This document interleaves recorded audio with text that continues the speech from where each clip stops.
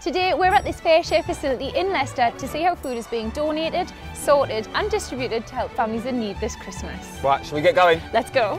Mask on. Hello, my love. Welcome, nice to see you both. Ruth, I'm super excited and I am dying to get my hands dirty. She's very good at the heavy lifting. And what are you good at? Looking pretty. I'm, I'm a delegator. McDonald's have pledged 60 tonnes of food to help FareShare feed families this Christmas. And not only that, but they have promised to provide 5 million meals by 2021. Go on, muscles. Fabulous job. They're nice, aren't they? I think oranges are really Christmassy. In addition, McDonald's are giving 50,000 Happy Meal books to Home Start for families struggling in this time of need. You're doing push Really well done driving. These volunteers we've got, some have been with us years and they are truly amazing. It's an extremely tough time and we're finding that our, our demand is threefold. The need is greater than ever before.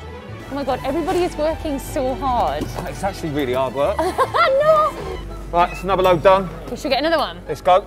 Do you know what I absolutely love today? Uh, it's always nice to work with Vic. She does me nutting. Uh, she did a lot of the heavy lifting, so I was delegating. I'm a very good delegator. The people who are volunteering here today are absolutely incredible. Ruth and all of our team are amazing.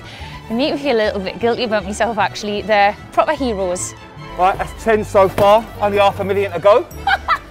Let's get a move on then. Having Vicky and Pete here today has just been amazing. It was quite emotional because they really believe in what we're doing. Are you ready?